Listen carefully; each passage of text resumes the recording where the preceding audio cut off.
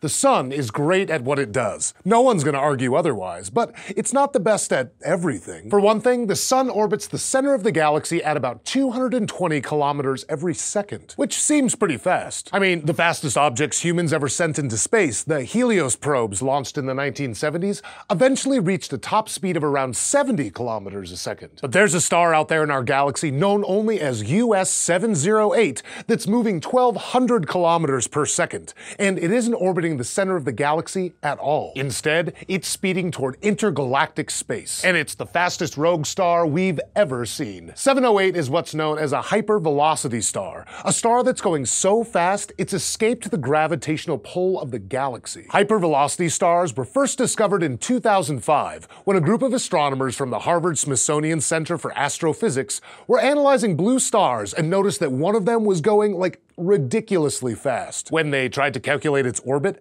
they realized it had come from somewhere near the center of our galaxy and was headed straight out of it. That's why at first, astronomers thought these rogue stars came from binary systems, two stars orbiting each other, that got too close to the black hole at the center of the galaxy. They figured one star got sucked in, and once it was gone, the second star was thrown completely off balance and rocketed away. Problem was, later studies found some hypervelocity stars that couldn't have come from the center of the galaxy galaxy. Some were too young, others weren't going in the right direction. There's even one hypervelocity star that seems to have come all the way from another galaxy. Its composition doesn't line up with the stars from our own galaxy, but it does match the stars from the Large Magellanic Cloud, one of our galactic neighbors. And we're pretty sure the Large Magellanic Cloud doesn't actually have a black hole in the middle, which means that there's probably some other way for stars to go rogue like this, though it likely still has to do with multiple star systems that got messed up somehow. One possibility involves triple systems, with two stars that closely orbit each other but are also bound to a third star a little farther away. If the third star is swallowed up by a black hole, the other two could go zooming off as hypervelocity stars. But 708 probably escaped in a completely different way, according to a new study just published in March 2015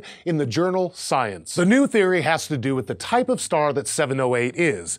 It's what's known as a hot subdwarf. Hot subdwarfs form from red giants, huge older stars with helium cores and a hydrogen and helium shell, which is where the nuclear fusion happens. If something makes a red giant lose that shell, it becomes a hot subdwarf, which is mostly just the helium core. Picture a very big, very hot helium balloon. Now, it's possible that 708 was once a red giant, locked in a binary dance with a white dwarf, another type of very dense star. And a white dwarf has gravitation that tends to suck in anything that gets close enough, even material from other stars. Which turns out to be important because if you dump enough helium into a white dwarf, it can go supernova. So here's what researchers think happened. US 708 was once a red giant that was paired with a white dwarf, which slowly drew its helium away, turning 708 into a hot subdwarf. And when the white dwarf absorbed enough material, it exploded and the supernova sent 708 speeding away through the galaxy at 1200 kilometers per second. That supernova would have been the incredibly bright Type 1a, which makes 708's story incredibly useful for researchers. Because not only can it explain why there are rogue, ridiculously fast stars flying all over the galaxy,